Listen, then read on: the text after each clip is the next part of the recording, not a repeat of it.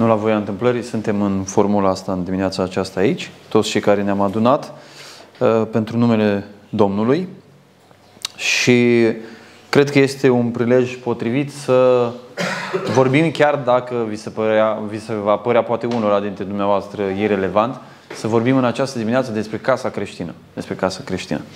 Uh, cred că este un subiect important și prea puțin exploatat. Uh, cred că subiectul ăsta trebuie să-i privească și pe bunici, și pe părinți, și pe cei care urmează să fie viitori părinți, viitori bunici. Deci cam vizează subiectul ăsta pe toată lumea care este uh, aici. Inclusiv pe copilași, cât pot ei să înțeleagă.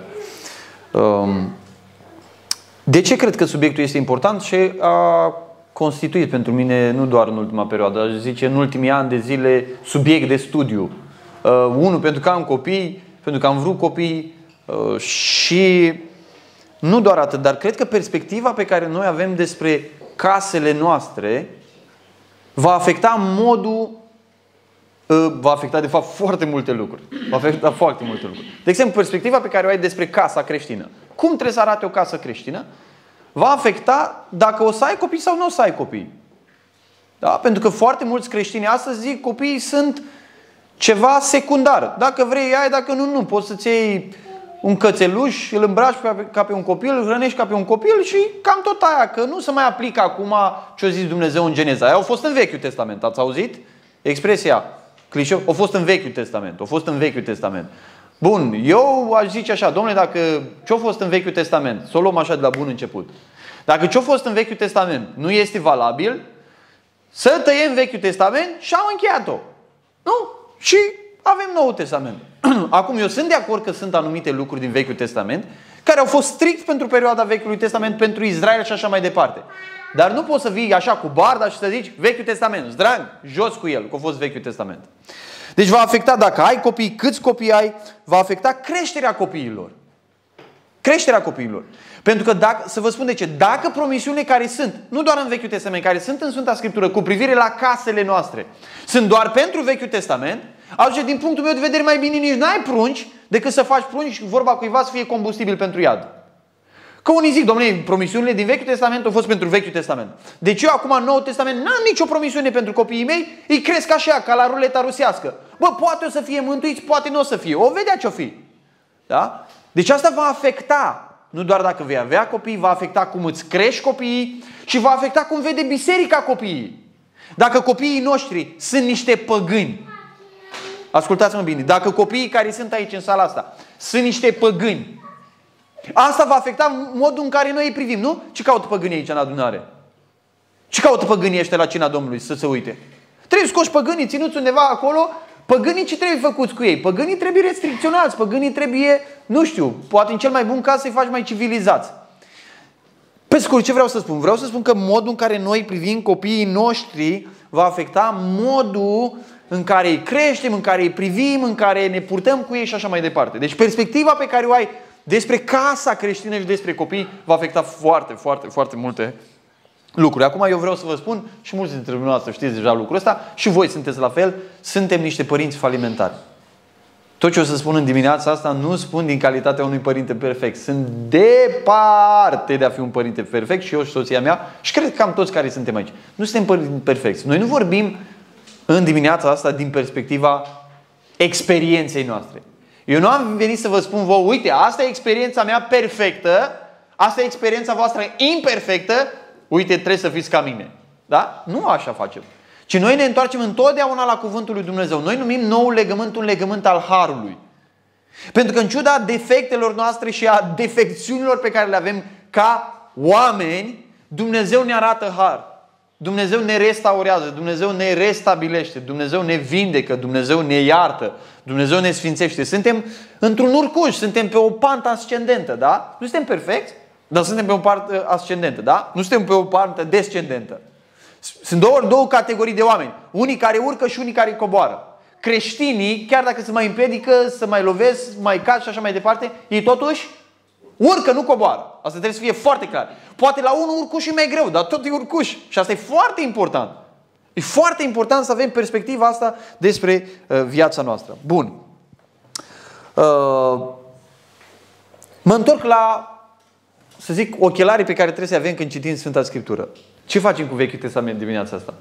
Avem voie să cităm de el sau nu?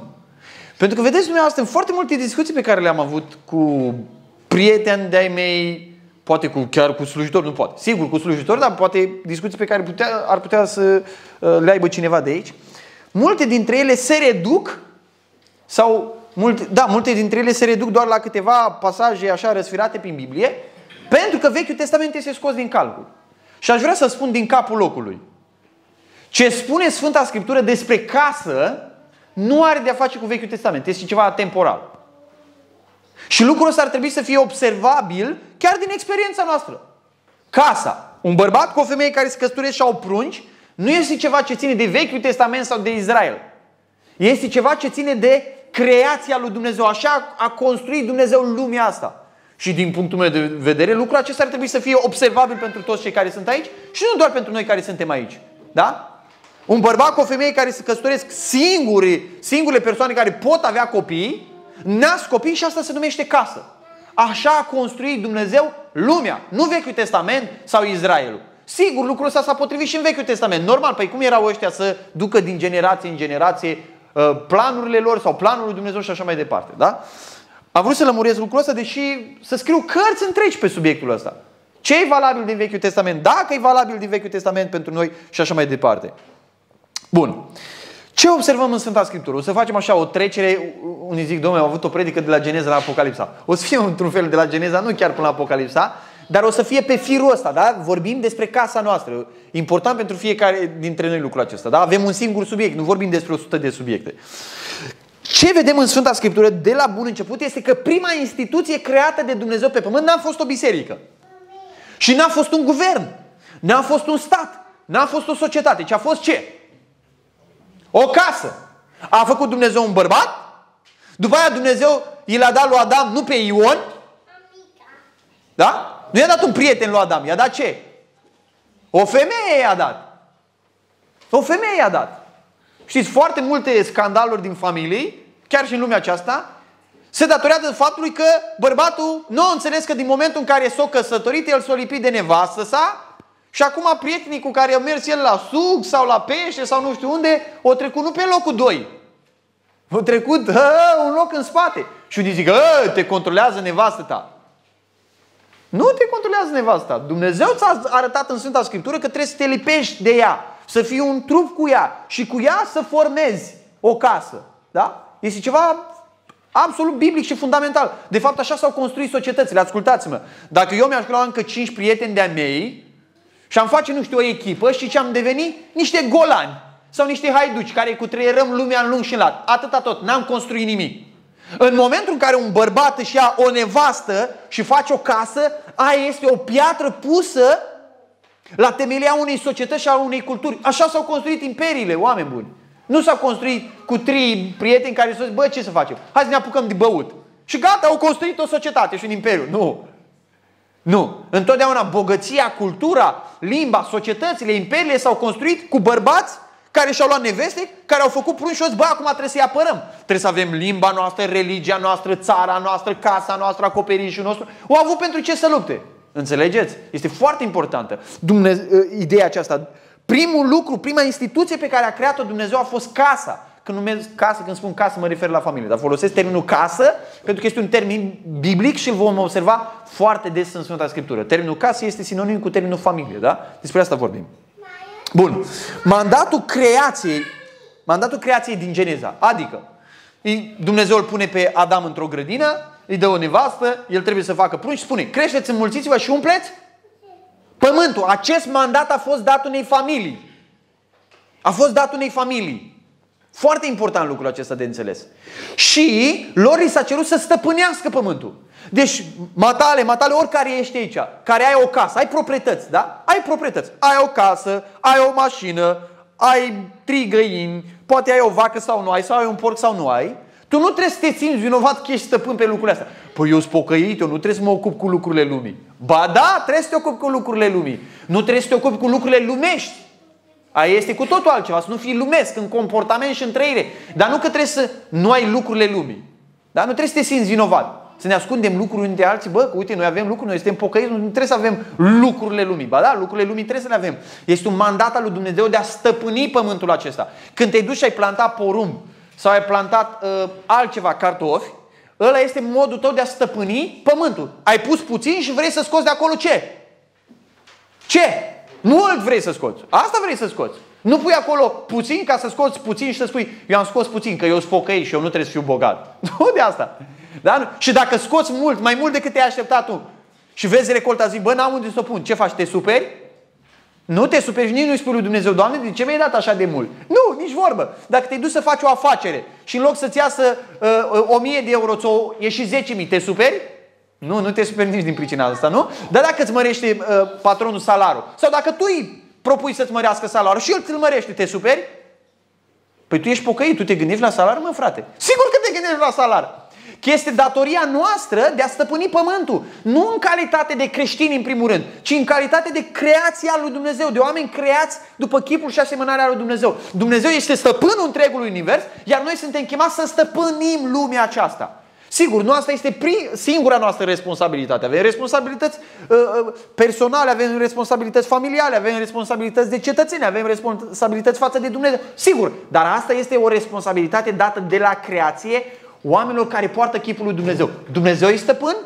Noi, oamenii făcuți după chipul lui Dumnezeu, suntem chemați să stăpânim lumea aceasta. Da, când noi ne preocupăm doar de lucrurile acestea, și uităm de Dumnezeu, atunci suntem altceva decât reprezentanța lui Dumnezeu. Suntem altceva. Suntem altceva decât ambasadori al lui Dumnezeu. De fapt, ceea ce face diferența între mine, Andrei Croitoru, și un om al lumii acesteia este modul în care stăpânesc lumea. Că și el stăpânește și eu, nu? Fiecare avem area noastră. Modul în care o stăpânim. Eu o stăpânesc ca un reprezentant al lui Dumnezeu și vreau să aduc valorile, gândirea lui Dumnezeu, gândirea cerească. În toate lucrurile vieții mele, eu trebuie să ar ca un pocăit, Trebuie să secer ca un pocăit, trebuie să încresc copiii ca un pocăit, să încheltui banii ca un pocăit și eu fac lucrurile ca el într-un sens. Dar eu aduc mentalitatea lui Dumnezeu în toate lucrurile vieții mele, da?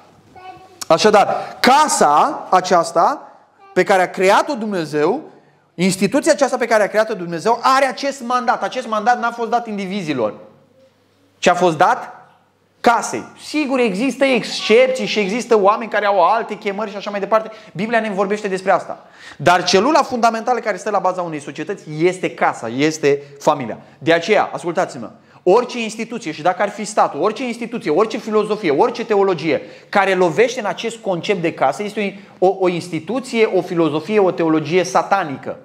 Deci cine încearcă să dezmembreze casa este un om care habar nu are despre ce vorbește, ori e prost grămadă și habar nu are despre ce vorbește, ori e un om care este mânat de diavolul că își dă seama sau nu își dă seama de lucrul ăsta. Da? Pentru că asta este piatra, asta este temelia unei case. E ca și cum noi am spune, bă, vreți să facem o casă? Noi, nu, când v-am când v-ați apucat, mai bine vorbesc despre voi, că voi ați muncit cel mai mult, când v-ați apucat aici de întărit casa asta, n-a zis, bă, ce cu temelia asta? Temelia nu arată chiar frumos. Hai să o dăm jos.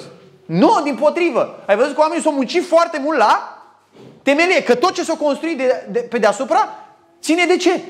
De temelia aia. Dacă temelia aia nu e bună, poți bagi 100 de mii de euro în casa asta, că îți duce la vale. Și tocmai asta vrem, să nu se ducă la vale, nu? Asta este familia, dragii mei. Asta este casa. Și din păcate, motivul, unul dintre motivele pentru care vreau să vorbesc despre lucrul ăsta, așa trebuie să vorbim mult mai des, este puțina înțelegere, puțina predicare, puțina prețuire a creștinilor pentru ceea ce este casa în gândirea lui Dumnezeu. Bun. Ă, casa este formată prin unirea în legământ a unui bărbat, a unui bărbat cu o femeie care dau naștere la prunci. Asta este casa, da?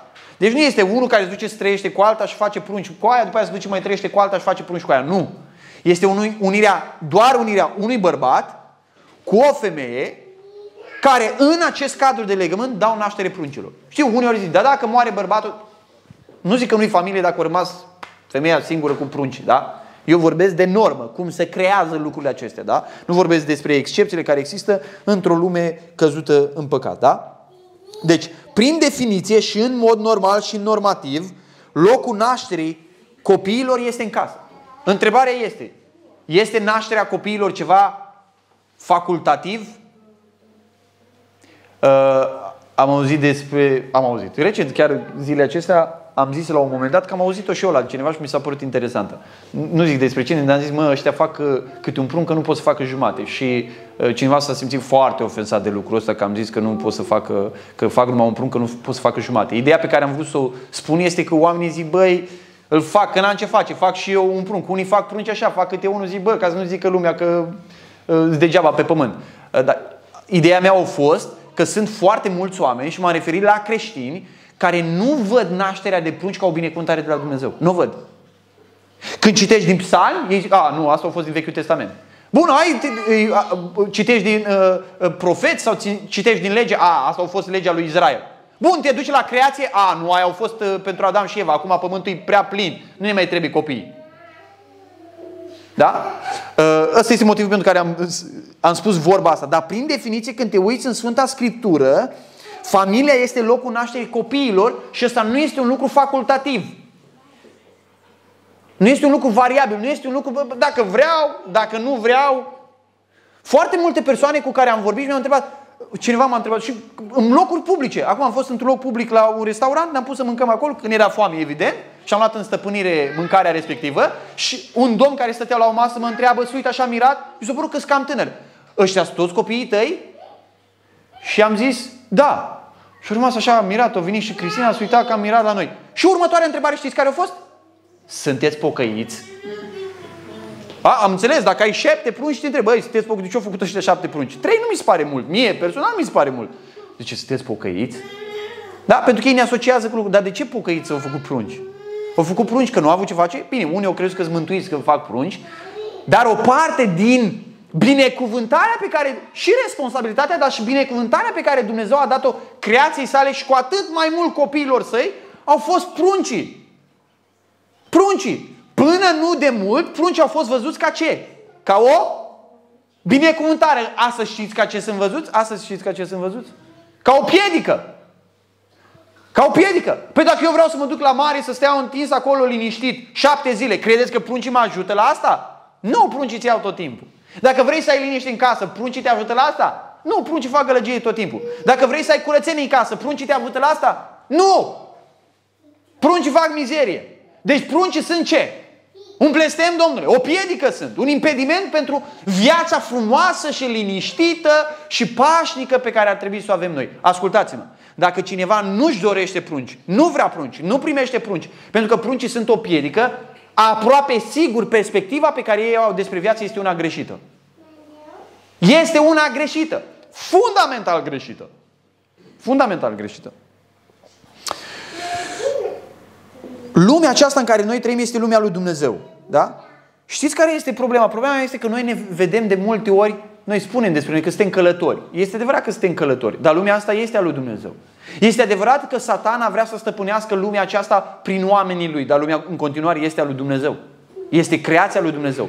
Că satana uzurpă sau vrea să uzurpe autoritatea lui Dumnezeu și satana vrea să-și umple lumea aceasta cu oamenii lui ca să o facă harcea, parcea, asta este adevărat, dar lumea este în continuare a lui Dumnezeu. Și noi suntem chemați pe pământul acesta să stăpânim ca niște oameni ai lui Dumnezeu, lumea lui Dumnezeu. Da? Lumea lui Dumnezeu. Bun. Când te uiți în Sfânta Scriptură, marile evenimente ale lui Dumnezeu în care Dumnezeu a lucrat cu omul, cuprind casele. Vreau să vă dau câteva exemple. Uh, ne-am uitat la creație, da? Gândiți-vă la potop. Dumnezeu rade de pe fața pământului toată planeta. Și ce salvează Dumnezeu? O casă. Foarte interesant, nu? O casă. Vă întreb pe dumneavoastră, de unde știm noi că toți băieții lui noi erau credincioși? Știm? Nu știm. Nevestele lui Lot, lui, scuzați-mă, nevestele băieților lui Noe, erau toate credincioase? Nu știm. Dumnezeu a salvat? Dar nevasta lui Noe. Nu știm. Acum sunt tot felul de filme cu tot felul de nerozii și de prostii și de imaginații ale celor care fac filme despre noi și așa mai departe. Dar nu știm. Eu cred că erau credincioși. Asta e convingerea mea. Cred că erau credincioși. Au făcut ei prostii și după aceea, unii zic, a, păi uite băiatul lui Noe ce-a făcut. Bun, dar Noe ce-a făcut? Că el prima dată când a coborât pe corabie a zis, bun, cum să începe o lume nouă bine? Cum să începe? Ce punem prima dată? O vie, domnule. Așa să începe o treabă bună, cu pahar. Nu? Zici că era român. Bă, cum te pui la muncă fără să te încarci puțin, da? Și noi am avut problemele lui. Dar Biblia vorbește despre Noe ca un om al credinței. Un om cu care Dumnezeu a făcut legământ. Noi zice, a, Noe, Avram, David au făcut mulți prostii. Dar noi? Dumnezeu n-a încetat să lucreze cu case doar pentru că capii acestor case au făcut prostii. Sigur că au făcut prostii, dar noi n-am făcut prostii? Să despre ce vorbim, nu? Marile evenimente ale lui Dumnezeu de lucru în lumea aceasta care nu țin de vechiul legământ și de Israel. Au cuprins casele. A început lumea cu o casă, când a ras de pe fața pământului umanitatea, a continuat Dumnezeu și a început din nou cu o altă casă. Corect? A început cu o altă casă. Dumnezeu când începe, când face, vorbim despre legământul cel vechi. Vorbim despre un alt legământ, mai important decât legământul cel vechi cu Israel, legământul cu Avram. Despre care Biblia spune că legământul cu Avram se împlinește în Domnul Isus Hristos. Legământul cu Avram. Când spune Dumnezeu, în tine vor fi binecuvântate toate neamurile pământului și ne avea în vedere și pe noi, copiii spirituale al lui Avram. Și Dumnezeu începe cu o casă. Cu casa lui Avram. Din marile evenimente de lucru al lui Dumnezeu cu omul au în vedere casele. Uitați-vă noaptea Paștelui. Dumnezeu vrea să salveze Israelul. Corect? A salvat tot Israelul. Dar jerfa care s-a cerut, s-a cerut să fie aduse de capul unei case și să fie aplicată pe fiecare casă. Foarte interesant lucrul acesta. Deși Dumnezeu a avut o treabă cu Israelul. Bun. Dar trecem în nou legământ. Ascultați-mă, trecem în nou legământ. Ce se schimbă în nou legământ? Ce zice Dumnezeu în nou legământ? Gata, în vechiul legământ, într-adevăr, așa am lucrat. Am lucrat cu casa lui Adam, am lucrat cu casa lui Noe, am lucrat cu casa evreilor, dar acum în nou legământ, Dani, fiecare de capul lui. Dacă copilul vrea să creadă bine, dacă nu vrea să creadă, asta e treaba lui. Nu pot eu, să, pot eu să-mi forțez copilul să fie mântuit, spuneți-mi. Pot? Nu, nici Noe nu a putut. Nici Avram nu a putut. Nici David nu a putut. Deci nu e vorba despre asta. Ce se întâmplă în noul legământ? Aș vrea să vă citesc câteva profeții despre noul legământ în care noi suntem. Da? Vă citesc câteva profeții. Dacă aveți Biblie, puteți să mă urmăriți, să fiți siguri că le citesc din Biblie. Da? Vă citesc câteva profeții care vizează ceea ce urmează să se întâmple în noul legământ. Noul legământ făcut în sângele Domnului Isus Hristos pe care noi îl celebrăm cam de fiecare dată când ne întâlnim aici. Zice așa, vă citesc de exemplu Psalmul 102. Psalmul 102, versetul 25. Zice așa, tu ai întemeiat în vechime pământul și cerurile sunt lucrarea mâinilor tale. Cerurile vor pieri, dar tu vei rămâne. Toate se vor învechi ca o haină. Le vei schimba ca pe un vășmânt și se vor schimba. Dar tu rămâi același și anii tăi nu se vor sfârși. Foarte interesant cum încheie psalmul. Deci el zice, lumea asta este trecătoare. Dumnezeu este netrecător. Și încheie psalmul cu ceva, cu o referire, cu o aplicație pentru noi. Și au, auziți ce zice? Fiii robilor tăi își vor locui țara și sămânța lor, sămânța robilor lui Dumnezeu, va rămâne înaintea ta. Sigur, este o promisiune care ține de țară fizică, dar a doua parte a promisiunii este o promisiune spirituală, că spune sămânța lor va rămâne înaintea ta, a lui Dumnezeu. Poate asta nu vi se pare clar. Uitați-vă, vă duc la texte foarte clare la, la texte foarte clare. Sunt texte care fac referire la Israel, dar promisiunile făcute lui Israel se împlinesc în Domnul Isus Hristos. Toate promisiunile, spune Apostolul Pavel în Hristos, sunt da și amin. Sunt da și amin. Uite, vă citesc de la Ezechiel, capitolul 37. Să vedeți ce spune. Ezechiel, capitolul 37, versetul 27. Da? Asta e, apropo, asta e scrisă după David. Da? Zice așa, robul meu David va fi împărat peste ei. Care e robul meu David? Cine e robul meu David? Că David trăise deja. E Mesia. Robul meu David va fi împărat peste ei și toți vor avea un singur păstor. Vor urma poruncile mele, vor părzi legile mele și le vor împlini. Vor locui iarăși în țara pe care am dat-o robului meu Iacov și pe care au locuit-o părinții voștri. Da, vor locui în ea, ei, copiilor și copiii copiilor lor pe vecie și robul meu David va fi voievodul lor în veci. Voi încheia cu ei un legământ de pace care va fi un legământ veșnic cu ei. Și voi sedi și voi înmulți și voi pune în locașul meu cel sfânt în mijlocul lor pentru totdeauna. Sigur, noi știm că din, în Domnul Isus Hristos noul legământ are o aplicație pentru biserică și are o aplicație pentru Israel. Dar noul legământ este împlinit în Domnul Isus Hristos. Da? Și este aplicat în aceste două faze. Este aplicat în prima fază pentru biserică, este aplicat în a doua fază pentru Israel. Și unii zic, a, păi toate promisiunile astea care vizează pe copii și casele se vor împlini, sigur, dar numai pentru Israel. Copiii care sunt în casele creștine în perioada bisericii sunt, nu știm acum ce cu ei. Nu, nici vorbă. Înseamnă că biserica care este în prima această fază istorică, mireasa Domnului Isus Hristos, beneficiază de mai puțin decât beneficiază poporul Israel, ceea ce nu e posibil. Ieremia, hai să ne uităm la Ieremia. Ieremia, apropo, care este citat în Cartea Evrei de două ori. Vorbește despre legământul încheiat în sângele Domnului Isus. Iată vin zile, zice Domnul, când voi face cu casa lui Israel și cu casa lui Iuda un legământ nou. Repet, da, casa lui Israel va beneficia de legământul ăsta, fără doar ce poate. Nu ca legământul pe care l-am încheiat cu părinții lor în ziua când ne-am apucat de mână să-i scot din țara Egiptului. Deci spune foarte clar, nu se referă la vechiul legământ, ci este un alt legământ, un nou legământ. Legământ pe care l-au călcat măcar că aveam drepturi de sus asupra lor, zice Domnul. Ci iată legământul pe care îl voi face cu casa lui Israel după zilele acelea, zice Domnul. Voi pune legea mea înăuntru lor, o voi scrie în inima lor și eu voi fi Dumnezeul lor, ei voi fi poporul meu. Este o promisiune spirituală asta. Și ascultați aici. Niciunul nu va mai învăța pe aproapele său sau pe fratele său zicând cunoaște pe Domnul. Ci toți mă vor cunoaște, atenție, de la cel mai mic până la cel mai mare. Și cineva întrebe, dar ce, James îl cunoaște pe Domnul? S-a născut James în păcat? S-a născut? Să împlini promisiunea asta? Se împlinește oare cu privire la James sau nu? Vă explic imediat. Ce cred eu? Da? De la cel mai mic zice până la cel mai mare, căci le voi ierta nelegiuirea și nu voi mai aduce aminte de păcatul lor. Noul legământ. Capitolul 32. Unii zic că Israel, Israel. Sigur că vorbește de Israel. Dar legământul promisului Israel. Evreii nu știau toate lucrurile. În nou legământ este revelat că legământul promisului Israel se împlinește în Hristos și este aplicat bisericii și este aplicat lui Israel. Este, sunt aplicate până la margine pământului este aplicat acest legământ. Israel devine o binecuvântare pentru toate națiunile prin faptul că îl aduce pe Mesia în care toate promisiunile lui Dumnezeu sunt da și amin.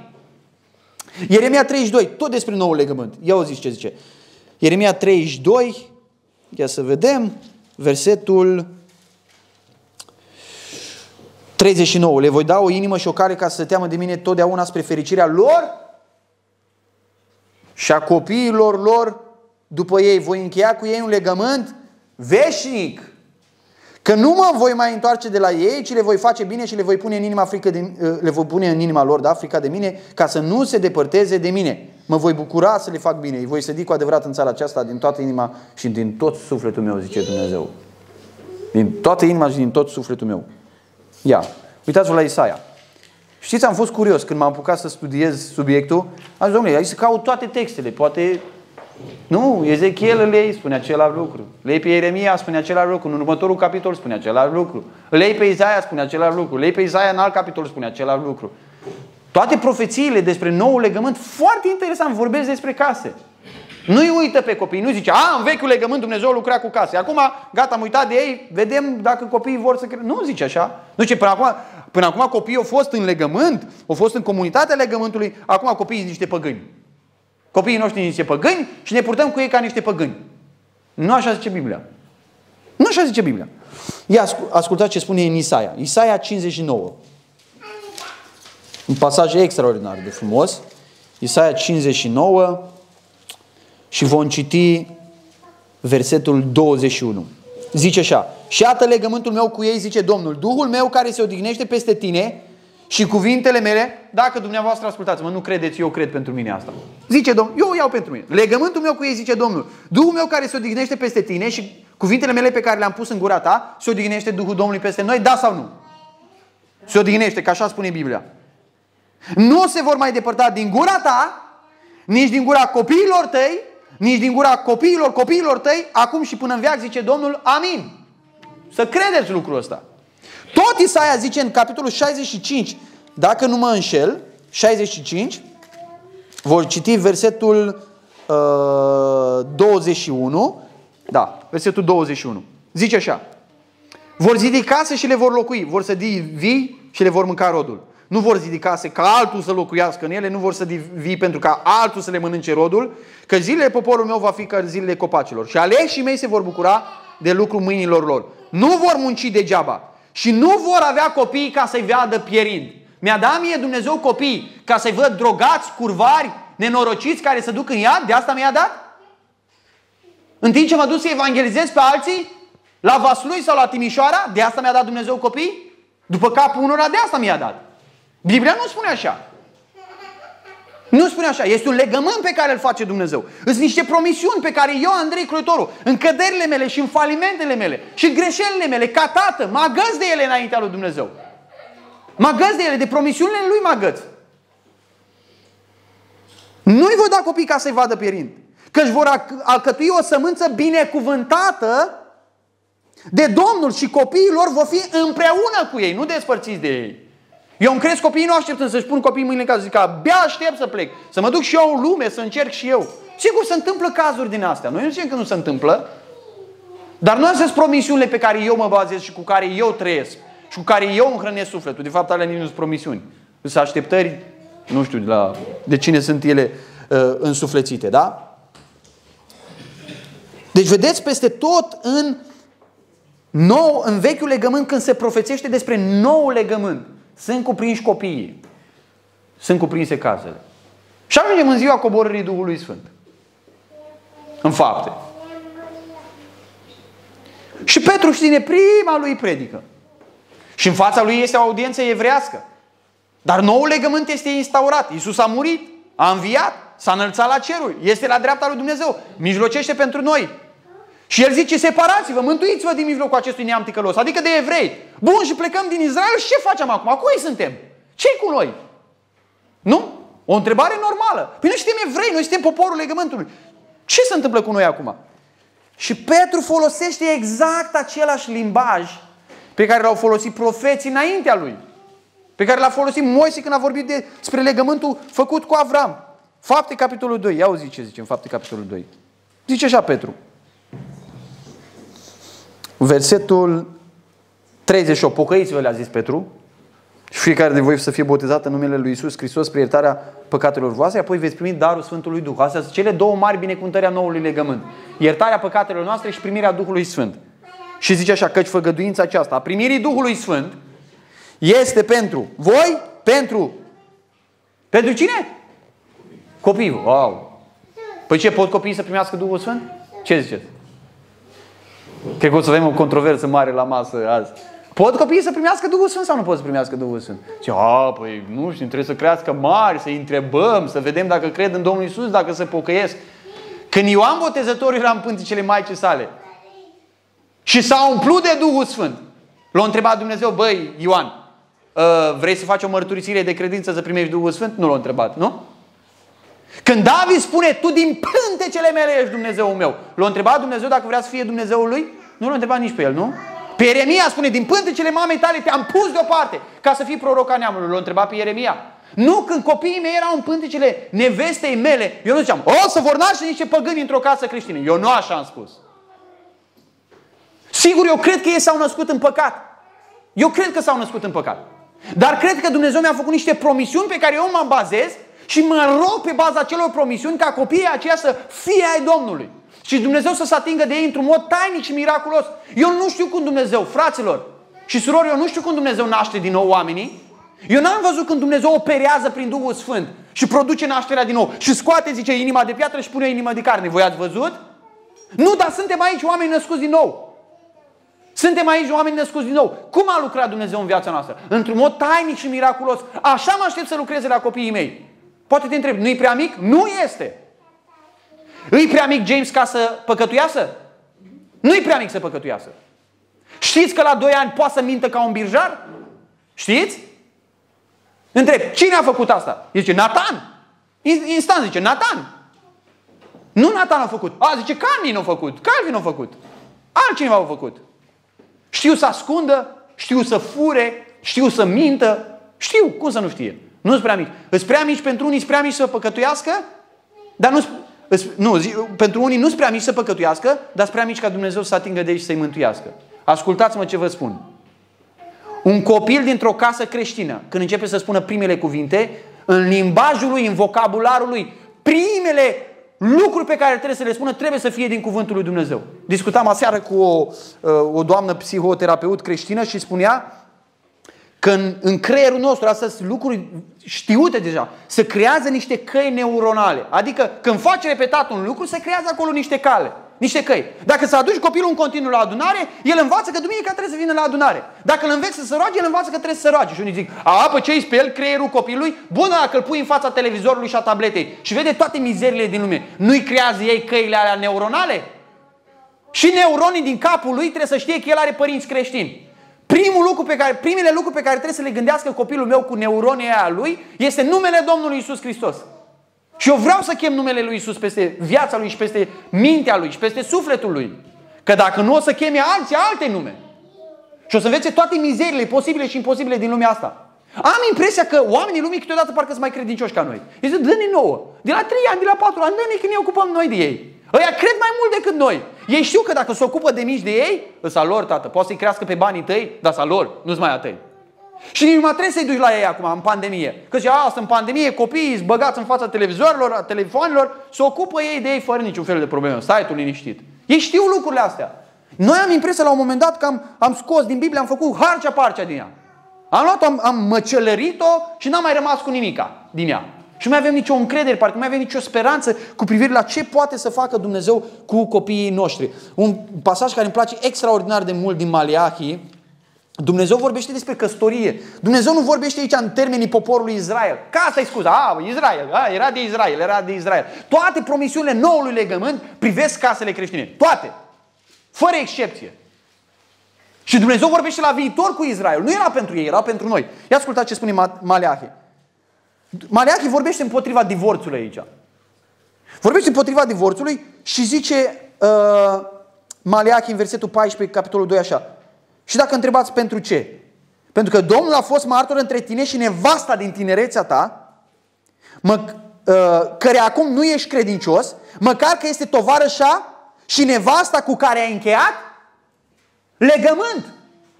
Nu contract, legământ, zice, ai încheiat cu ea. Și Dumnezeu, a, un bărbat să zică, ce dacă nu sunt credincios uh, legământului nevestii mele? Păi eu stau cu ea în casă, dar mai primim, mă mai la pornografie, mă mai pe alte femei, poate mai încerc una alta. care e problema? Dumnezeu zice, ai încheiat legământ și eu am văzut legământul ăla. Și eu vin apărător acelui legământ. Ei, pe ce a văzut Dumnezeu când am încheiat eu legământ la primărie, la Dănești? Sigur că a văzut. Cum să nu vadă? Și-a luat Dumnezeu în calcul. Da, l-a luat. Păi nu eram pocăit. Tot l-a luat în calcul. Tot l-a luat în calcul. Ia uziți ce spune. Nu ne-a dat unul singur Dumnezeu suflarea de viață și ne-a păstrat-o? Nu zice, nu Dumnezeu ne-a pus în vechiul legământ? Nu, vorbește despre oameni ca și creația lui Dumnezeu. Nu ne-a dat el suflarea și ne-a păstrat-o. Și ce cere acel unul singur Dumnezeu? De la cine cerea? De la bărbatul și femeia care s-au căsătorit și le spune, băi, rămâneți în legământ. Ia uziți ce cere. Sămânță dumnezeiască. Adică cei care se nasc în familia aceasta de oameni credincioși din poporul lui Dumnezeu trebuie să fie sămânță dumnezeiască. Luați seama, dar în mintea voastră și niciunul să nu fie necredincios nevestei din tinerețea lui. Asta zice că cere de la noi, să-i fiu credincios și să creștem sămânță dumnezeiască. Și unii zic, a, vechiul legământ. A, deci vrei să spui că noul legământ e mai slab decât în vechiul legământ. Și acum copiii mei ce trebuie să fie? Sămânță satanică? Ce trebuie să fie copiii mei? Că nu înțeleg. Adică facem un downgrade, coborâm, ne întoarcem la Windows 95 de la ce este acum? E o prostie. Nu, nou legământ, în Hristos, în nou legământ, promisiunile astea sunt expandate. Sunt împlinite în Domnul Isus Hristos când vine împlinirea, nu? Nu sunt coborâte. Sub nicio formă nu sunt coborâte. Bun. Dar ne întoarcem la uh, Noul Testament. Eu cred că cel mai simplu lucru este să-L ascultăm pe Domnul Isus. Domnule, ce-o zis Domnul Isus? Când Domnul Isus a venit, putea zic, eu sunt capul noului legământ, că El zice, acest pahar este, da? Sângele noului legământ și așa mai departe. Domnul Isus putea să zică, păi, gata, s-a terminat. Evrei, am încheiat-o, de acum, cu voi adulții, că copiii nu înțeleg nimic, deoparte cu ei. Ce zice Domnul Isus? Ca asta se întâmplă, dragii mei, și în adunare. De asta v-am spus, perspectiva pe care o ai despre copii te va afecta. Știți de ce camera mama și copilului goală aici? Și zice e goală? Nu pentru că nu avem prunci ci pentru că vrem ca pruncii noștri să audă Evanghelia. Să ne audă rugându-ne, să ne miroase când bem cina Domnului, să ne pună întrebări, noi să-i răspundem, să-i obișnuim cu rugăciunea, cu cântarea și cu predicarea. De asta sunt în adunare. Sigur, când e un copil e prea mic și mama are nevoie să ducă acolo, să duce acolo fără niciun fel de problemă. Dar de asta aducem aici în adunare. Vrem să producem, să avem sămânță dumnezeiască, binecuvântată de Dumnezeu. Cum o să o binecuvânteze Dumnezeu? Dacă ei nu sunt părtășia Sfinților. Unde Dumnezeu ne-a promis că este prezent Hristos în mijlocul nostru. Cum să-i binecuvânteze Dumnezeu dacă nu-i aduc unde să manifestă Duhul Sfânt? Sigur, unul mai scapă ceva, unul să mai mișcă, unul mai întreabă, unul să mai foiește. Nu este niciun fel de problemă. Cum îi vedeți că stau așa și să foiesc, ăștia aud tot. Nu crezi că aud tot? Ia începe să vorbești despre cineva acasă. Și să vezi el și se reproduce tot. Noi vorbim acum despre cineva că, că e bogat. Și când ne-am pus la masă, Nathan întreabă, îi zic, uite, el e fratele cu tare și zice, e ă, ăla bogatul? De față cu el. Da, el e la bogatul. Ce să face? Copii. Și când nu auzi copilul ăsta? Când nu procesat? El aude. Tu crezi că n-aude, aude tot. Aude. Știți cum sunt? Ca un burete, ca o sugativă. Sug la vârsta asta, tot sug. Aici trebuie să crească, în casa lui Dumnezeu. În poporul lui Dumnezeu. Sub binecuvântarea lui Dumnezeu. Și a metodelor pe care El ni le-a dat la dispoziție. Cina Domnului, ă, predicarea cuvântului, rugăciunea și așa mai departe. Ce a spus Domnul Isus? Capul noului legământ. Vreți să vedem ce a spus Domnul Isus? Ia auzi ce spune Domnul Isus. Luăm Matei, foarte interesant. Întotdeauna pasajul ăsta l-am aplicat la adulți. La adulți. La, la adulții care sunt copiii în Domnul, cumva. Da? Copiii Domnului. Ia auziți ce spune. Zice Domnul Isus în Matei 18. Și interesant, dacă unii zic, a, păi nu se referă la copiii din casa Domnului sau la copiii Domnului. Veți vedea că nu despre asta este vorba. Pentru că în capitolul următor, în capitolul 19, tot de copii vorbește. Zice el așa, în uh, versetul 1 din capitolul 18. În clipa aceea, ucenicii s-au apropiat de Isus și l-au întrebat, cine este mai mare în împărăția cerurilor? Pe cine? Popa care predică. Care e mai mare de aici dintre noi? Cine? Cine dă cina? Cine e mai mare? Nu vedeți mentalitatea asta a intrat și între creștini. Care e mai mare? Hai să facem clerul. Care e mai mare și să-i punem. Cel mai mare, încă trei mai micuți, încă șapte mai micuți și restul prostimea. Ca așa tratați. Nu, Domnul nu zice așa. Ia zice ce zice Domnul. Iisus a chemat la el un copilaș și l-a pus în mijlocul lor. Păi dacă părinții ăștia, când îl urmau pe Domnul Iisus, nu veneau cu copilaș și putea el să cheme un copilaș? Nu, părinții erau evrei și își luau copiii cu ei. Nu ziceau, a, păi ne ducem să-L ascultăm pe Fiul lui Dumnezeu, să nu-L deranjăm cumva în timpul predicii pe Domnul Isus. Domnul Isus nu era ofensat de copii. Am auzit o grămadă de frați, de oameni credincioși care zic, copiii ne deranjează. Să-ți fie rușine dacă te deranjează. Nu l-au deranjat pe Isus Hristos, stai tu liniștit că nu trebuie să te deranjezi nici pe tine. Dacă nu-i stricau predicile perfecte ale Domnului Isus Hristos, nu-i mare dezastru că ți le strică pe tale. Poate e bine dacă ți le strică, dacă ai mentalitatea asta. Poate e bine, poate în timp ce predici prostiile alea, ar trebui să pun câțiva copii să joace și să strige. Ca te nerozii spui. Dacă la fel crezi despre toate lucrurile cum crezi despre copii, cred că e bine să te întrerupă. Domnul Isus nu se simțea deranjat de ei. Mă înțelegeți? A chemat un copilaș în mijlocul lor și le-a zis, adevărat vă spun că dacă nu vă veți întoarce la Dumnezeu și nu vă veți face ca niște copilași, auziți ce spune? Cu niciun chip nu veți intra în împărăția cerurilor. Auleu, așa drastic. Să mă fac eu ca un copil. Păi eu știam că ei trebuie să facă ca mine. Doamne ferește să facă ca mine, nu? Zice că eu trebuie să mă cobor eu la el. Vedeți, un copil e totdeauna dependent de părintele lui. Dacă am fi noi așa de Dumnezeu, cum ar arăta viața noastră? Zi, frate, cum ar arăta. Dacă pentru pâine, dacă pentru mâncare. Acum am devenit independenți, suntem maturi. Nu mai avem noi nevoie să accesăm la Dumnezeu promisiunile Lui. Că acum noi suntem maturi, ne descurcăm. Un copil vine pentru orice lucru la tine. Și parcă câteodată te supără. Pe Dumnezeu nu-L supără, zice Dumnezeu. Acolo trebuie să te întorci. Tu ai, tu ai avut impresia că trebuie să crești, nu știu unde să ajungi. Nu, Dumnezeu zice, dacă te întoarce la smerenia unui copil. Un copil să simte ofensat să vină să ceară pâine? Nu. Să-ți ceară apă? Nu. Să te trezească în toiul nopții să simte ofensat? Nu. Da, da, te strigă, te trezești, nu-l interesează. Nu-l interesează. Acolo trebuie să ne întoarcem, fraților. Acolo trebuie să ne întoarcem. De aceea oricine se va smeri ca acest copilaj, da? Dependența aceea, smerenia aceea, el nu se crede grozav, bă, mă duc eu să-i cer lui tata. Păi eu sunt o persoană independentă, mă descurc singur. Nu, el e smerit. Știe cine e, știe că e un prunc și are nevoie de părinții lui. Oricine se va smeri ca acest copilaj va fi cel mai mare în împărăția cerurilor. Și oricine va primi un copilaj ca acesta în numele meu, mă primește? Nu cine primește un pop în numele lui. Ceva vedete din asta religioasă, nu. Cine primește? Pe cineva ca un copilaș. Dar pentru oricine va face să păcă, păcătuiască pentru, pe unul din acești micuți care cred în mine ar fi mai de folos să-i se atârne de gât o piatră de moară și să fie negat în adâncul mării. Așa mă simt ca tată, așa trebuie să mă simt. Când mă pun seara în pat și zic, uite cum am purtat, în loc să dau un exemplu bun copilului ăsta, în loc să vorbesc cum trebuie, în loc să am tonul care trebuia, așa, mai bine legam o piatră de moară de gât. Că asta a spus Hristos, decât să fac pe unul din acești copilași să păcătuiască. Decât să-l duc în ispită. El are un suflet fragil. El atunci se formează. Și ceea ce eu fac are un impact asupra vieții lui. Și Domnul zice, de când să-l faci să păcătuiască? Mai bine ți-ai legat o piatră de moară decât. Vedeți ce contează perspectiva pe care ai despre copii? Ce mult contează perspectiva pe care o ai despre ei. Și iată ce spune capul noului legământ, Domnul Iisus Hristos, Mântuitorul nostru, Domnul nostru, despre copii. Nu ce spune alt, un, un om oarecare, ce spune El despre copii. Da? Să mai citesc versetul 8. Zice, dacă te faceți caz în păcat, taie. Leapă de la tine. Matei 19. Capitolul următor. Ia uitați ce spune Domnul Isus. Versetul 13. Atunci au adus niște copilași ca să-și pună mâinile peste ei și să se roage pentru ei. Să se roage Fiul lui Dumnezeu pentru ei. Să-i bine, binecuvinteze Fiul lui Dumnezeu. Și Domnul Isus ce a zis? Lăsați copilașii să nu mă deranjeze în timpul predicii, că ei nu înțeleg nimic, ați prea mici. Sunt niște mici păgâni. Și ei nu înțeleg nimic, ca îs, lasă, lăsați la televizor, că noi avem aici treburi serioase. Ce știu copiii lucrurile astea? Și au zis Domnul Iisus. Cam așa ar fi tradus după ce fac unii astăzi. Dar Domnul Iisus nu a zis așa. Zice, lăsați copilașii să vină la mine și nu-i opriți. Credeți că Domnul Iisus Hristos era într-o pauză de masă când i-a adus copilașii? Credeți că Domnul Iisus, bă, o să mă ocup și de copilași, că eu sunt Fiul lui Dumnezeu și eu iubesc și pe ei. Dar uitați, între 11 și 12 o să am o pauză așa, până la următoarea studiu biblic din așa, și din Deuteronom, dar în pauza asta pot să mă ocup și de cum. Nu! Nu! Domnul Iisus era în misiunea lui principală și făcea treaba și întrerupe orice și se ocupă de copii. Și zice, lăsați copilașii să vină la mine și nu-i opriți căci împărăția celor, repetă din nou același lucru, ca în capitolul anterior, căci împărăția celor este a celor ca ei, nu este a celor ca mine. Nu zice că e a celor ca ei. După ce și-a pus mâine peste ei, a plecat de acolo. Deci Domnul Iisus Hristos spune că copilașii trebuie să vină la El. Acum e datoria cui să-i ducă pe copilaș la El? A noastră. A noastră.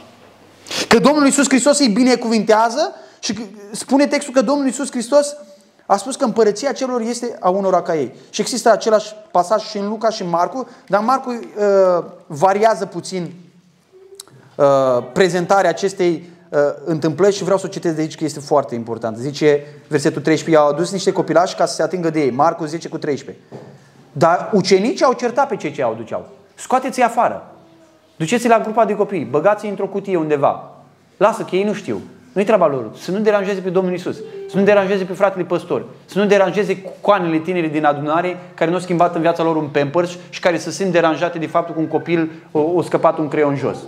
Scoate-i afară. Scoateți-mă afară, mă. Ăștia mă gălăgie fac, educați ăștia. Asta fac unii. Unii când vorbesc despre copii scuipă. Și ar fi mai bine dacă ar scuipa din gură, că scuipă cu venin.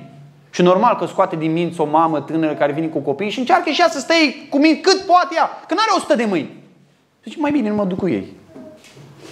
Când stai numai lângă oameni simandicoși care urăsc copiii, care nu iubesc copiii, care îi sătui de copii, cărora li scârbă de copii. El își plimbă mai bine și ar plimba câinile, mașina și altceva decât să, să privească cu drag la un copil și să avute un copil. Sau să pună mâna și să ofere sprijin cât poate el. Sau măcar să te rogi dacă altceva nu poți. Sau măcar să te întrebi, Doamne, de ce nu sunt ca Hristos? El a avut altă perspectivă, nu? Despre ei. Ia uzi ce spune. Când a văzut Isus acest lucru, de asta am citit de aici.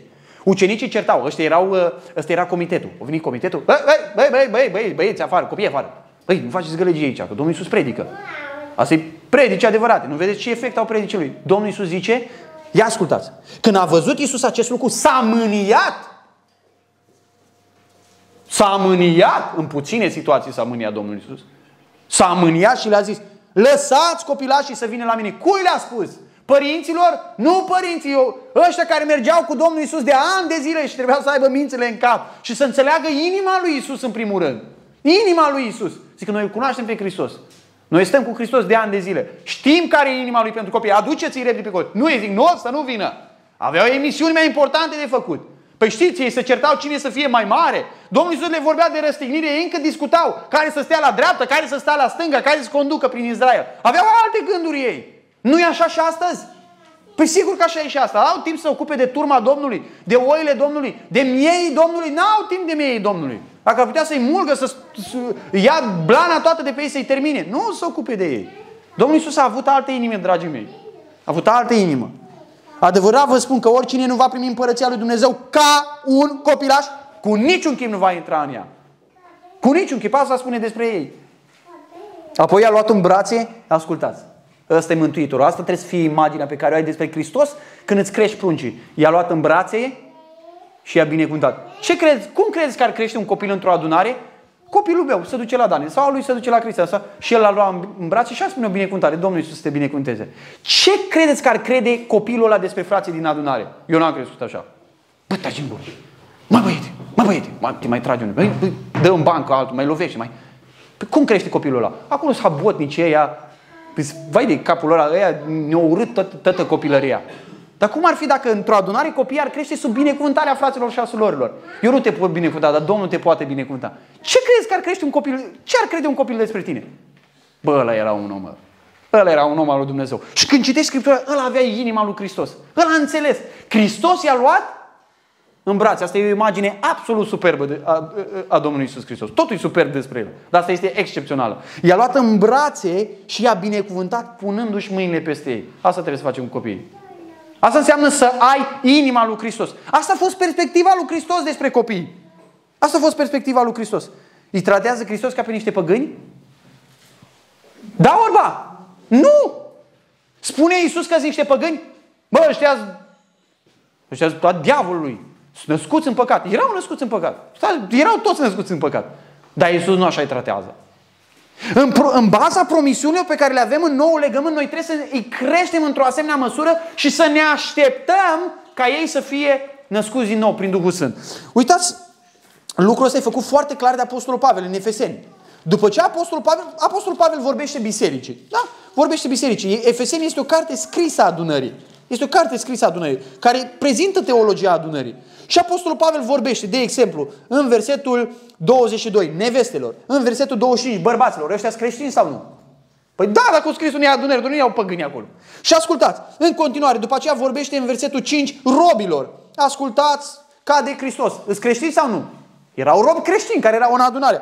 Și voi, stăpânilor, purtați-vă la fel cu ei, feriți-vă de amenințări, ca unii care știți că stăpânul lor și al vostru este în cer. Stăpânii ăștia de robi, erau creștini sau nu? Erau creștini. Dar între familie, bărbați și neveste, și textul despre robi și stăpâni, este pus textul care să face referire la ce? La părinți și la copii. Ia ascultați. Copii ascultați în... Păi de ei sunt niște păgâni. Cum să asculte ei în Domnul? Vedeți că nu pușcă. Nu se leagă. Pavel nu îi tratează ca pe niște păgâni. Le spune, ascultați în Domnul. Dacă ei, dacă copiii noștri ar trebui priviți ca niște oameni ai lumii, fără Dumnezeu, cum să, cum să asculte ei în Domnul? Că el e în diavolul. Cum să asculte el în Domnul? Asta înseamnă că eu trebuie să le duc de mic pe copilul meu, așteptându-mă ca Dumnezeu să lucreze în, inimi, în inima lui. Vă spun imediat de obrăzniciile lor, cum trebuie să le privim. Și apoi spune părinților, și voi părinților nu interitați la mânie pe copiii voștri, ci creșteți în mustraia și învățătura Domnului. Ei trebuie să mă asculte în Domnul, eu trebuie să-i educ în Domnul. Așa că vă spun, lucrurile funcționează foarte simplu. Eu am niște promisiuni ca tată și ca, dacă ești mamă sau tată. Ai niște promisiuni în Sfânta Scriptură despre modul în care Dumnezeu nu lucrează în noul legământ cu copiii tăi. Crezi promisiunile astea și nu zici, a, păi eu zis fratele Andrei că copiii mei sunt a Domnului. Pot să stau liniștit. Domnul să se îndure de ei. Eu nu asta ți-am spus. Ți-am spus asta? Nu asta ți-am spus. Tu că ai niște promisiuni și pe baza acestor promisiuni te duci la pedagogia din Sfânta Scriptură și Biblia spune crește-i în învățătura și mustrarea Domnului. Ocupă-te de ei. Nu cruța, nu ia. Ocupă-te de ei, ocupă-te de ei, ocupă-te de ei, ocupă-te de ei. Și în timp ce tu te ocupi de ei, Dumnezeu ți-a dat niște canale. Cuvântul, rugăciunea, biserica, cina Domnului. Toate lucrurile astea la care copilul e expus. Și nu ne temem să expunem. Vrem să expunem. Și în timp ce facem toate lucrurile astea, Duhul Sfânt lucrează în inima lui și dă nașterea din nou. El este născut în păcat. Dar prin toate metodele astea ale Harului, Duhul Sfânt lucrează în inima lui. De câte ori, v-am mai spus, de câte ori la masa Domnului, de câte ori în adunare au întrebat tot felul de lucruri și a fost ocazie potrivită să-i spui câteva cuvinte. Nu doar aici, și aici, și în casă, și în tot felul de situații. La mormântări, te întreabă o grămadă de lucruri copiii. Numai să fii dispus să-i spui. Numai să fii dispus să ai inima de tată sau de mamă deschisă să-i spui, băi, Sau de bunică sau de bunic. Extraordinar. Uite, poți să-l evangelizezi pe nepotul meu. Să-i spui despre Domnul Isus Hristos. Și știi ce e interesant? Foarte devreme, sar puțin, foarte devreme, copiii încep să spună că ei cred în Domnul Isus. Întreabă pe Calvin. Calvin, tu crezi în Domnul Isus? Da. Nathan, tu crezi în Domnul Isus? Da. Ei zic că cred. Îi întreb despre pocăință, puteți să întrebați voi despre pocăință, despre păcat, ce trebuie să facă cu păcatul și ei spun că cred. Știți cu ce mentalitate am crescut eu? Eu am crescut cu mentalitatea următoare. Când un copil îți spune că el crede în Domnul Isus, tu trebuie să spui, ai un minciunos, e un ipocrit. Păi ce? Tu crezi tu un copil? Domnul Isus nu zice așa. Domnul Isus zice că eu sunt un ipocrit și un minciunos. Eu care sunt mare sunt un ipocrit și un minciunos. Că am învățat să canalizez păcatul. Am învățat să-l ascund. Am învățat să fiu civilizat.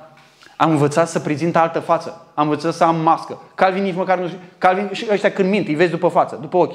Nici nu l-am văzut când au luat. L-am văzut după ochi. Noi am învățat să avem privirea lină când mințim. Să nu ne vadă nimeni. Înțelegeți? Nu zice Domnul Iisus ei să devină ca noi, ci noi să zice să ne întoarcem, să devenim ca ei. Și știți ce se întâmplă? Am crescut cu, crescut cu mentalitatea asta. Când copilul zice el crede, uh, el iubește pe Domnul Iisus și așa mai departe, eu știți ce trebuie să fac? Eu spun, a, ești mincinos. Păi dacă tu crezi în Domnul Iisus, de ce ai vorbit așa cu mama? Ce fac eu atunci? Îl descurajez. Îl descurajez. Asta fac. Și eu cred că misiunea mea de tată, în loc să-l încurajez, misiunea mea de tată îi să spun tot timpul, de la vârsta de 3 ani de zile, că e un ipocrit, un mincinos, un fățarnic, că el nu s-a purtat frumos cu frate, că el nu o ascultat de mama sau de tata și cum ești tu credincios dacă ai făcut lucrurile astea? Te întreb, cum va crește un copil din ăsta dacă îl crește așa, spunându-i în continuu, cu alte cuvinte, că e un ipocrit, un mincinos și fals în mărturia lui? Cum va crește? Îți spun eu, la 13-14 ani numai dă 2 lei pe ce spui tu. 2 lei pe ce spui tu. Și abia aștepți să plece acasă de la tine și să scape. Și ne mirăm. A, păi vezi, fratele Andrei n-are dreptate. Vezi ce s-a întâmplat cu pruncii mei. Cum ți ai crescut? Cum i-am crescut? Perfect nu i-am crescut niciunul. Dar cum i-am crescut? Cu ce mentalitate am crescut? Cu ce mentalitate am crescut? Dar dacă eu îl încurajez să spun, Calvin, tu iubești pe Domnul Iisus? Da, îl iubesc. Uite, asta e pocăința și eu sunt greșit. Și eu greșesc față de tine și tu greșim. Dar uite, Dumnezeu te-a pus într-o familie, într-o casă ca împreună să creștem. Eu să mă pocăiesc când am greșit față de voi. Voi să greșiți, să vă pocăiți când ați greșit unul față de altul. Noi creștem împreună. Nu voi sunteți păgânii, noi suntem sfinții. Nu! Cum credeți că va crește copilul într-o atmosferă din asta? Total diferit. Nu cu niște părinți perfecți, că nu există. Că nu există. Că nu există. Acum, ce facem cu năzbâtile lor și cu joaca lor? Vezi, copiii sunt năzbâtioși. Eu cred din toată inima că Dumnezeu poate să nască copiii când vrea El. Am niște promisiuni în baza cuvântului Dumnezeu pe care mă bazez și le cred din toată inima mea. Și eu cred, posibil, copiii poate să fie născuți, toți copiii noștri să fie născuți din nou. Eu nu am de născut, dar fac năzbâtii, fac copiii năzbâtii. Toată ziua. Dar, dragii mei, ascultați-mă puțin. Un copil, dacă ajunge să fie născut din nou de Dumnezeu, el nu devine adult. El rămâne ce? Copil. El nu de la jucatul cu avioane și cu elicoptere deodată o să stea așa pios și umblă numai cu Biblia prin casă și se plimbă și stă cu capul într-o parte și spune el este născut din nou. Nu, dragul meu. El rămâne în continuare un ce? Un copil care e normal ca la vârsta lui să se joace. Că dacă l-ai vedea numai prin bucătărie, la 5 ani, încercând să spele vase și să spălă în wc prin baie și cu mască și cu mânuși și cu detergent, ai zice copilul ăsta e o leacă dus.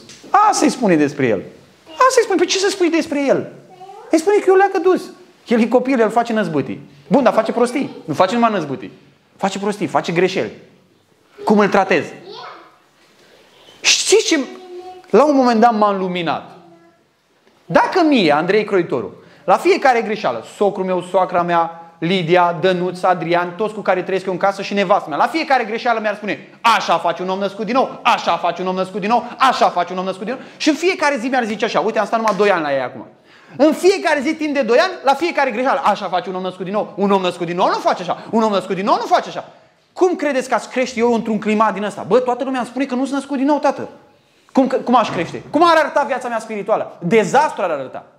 N-aș mai avea niciun curaj. Aș bă, oricum nu. N-am nicio șansă. Am încercat, m-am chinuit, m-am străduit, n-am nicio șansă. Sunt pierdut. Eu nu sunt născut din nou, mă. Și atunci ce sens are să mă mai chinui? Păi gândește-te că tu faci asta cu un copil de 5 ani sau de 6 ani. Cum să reziste el la tirajul ăsta de acuzații? Cum să reziste el la sufletul lui? Cum să reziste sufletul lui? Ar prefera să-i dai bătaie decât să vorbești cu el, în continuu să-l terorizezi psihic în felul acesta. Nu ăsta e climatul în care ne-a chemat Dumnezeu să, să, să creștem, dragii mei, din punct de vedere spiritual. Da, el a greșit. Dar vă întreb pe dumneavoastră, ce mai grav? Că el l-a ciupit pe fratisul sau că eu i-am spus niște lucruri nevestei mele care ea ar fi preferat să o ciupesc 3 minute în continuu, să rup carnea de pe ea. Că așa de tare o doare ce am spus. Cine, cine a făcut ceva mai grav? Eu, nu el. Că atunci când eu m-am mâniat, am strigat, atunci când eu m-am mâniat, știu să-mi aleg bine cuvintele, ca nimeni să nu spună că am înjurat.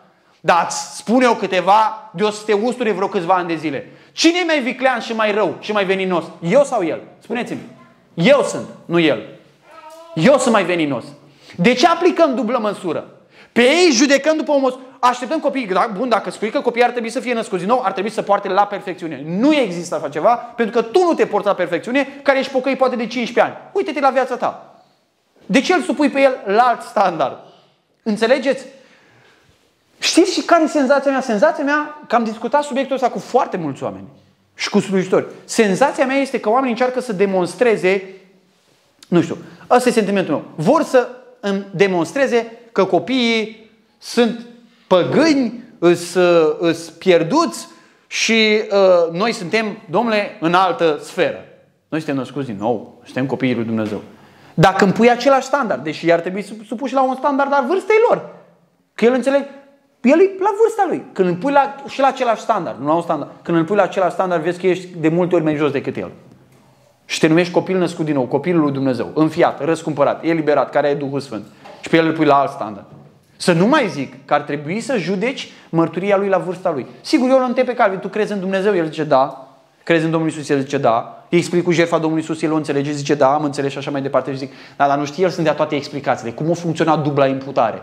Când Isus ne-a dat nouă neprihănirea, noi am... Bă, stai puțin. Păi vorbim despre o mărturie a unui copil la vârsta lui. Da?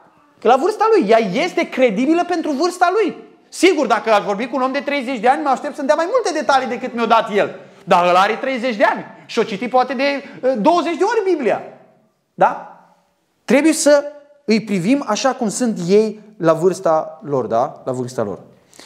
Uh, deci, ce am vrut să spun în dimineața aceasta este că Dumnezeu are un plan cu familia, are un plan cu casa, că Dumnezeu ne are în vedere, că Dumnezeu ne iubește, că Dumnezeu se ocupă de noi și că Dumnezeu se ocupă de noi și de copiii noștri. Că ar trebui să luăm aceste promisiuni din cuvântul lui Dumnezeu și prin puterea Duhului Sfânt să creștem după voia lui Dumnezeu.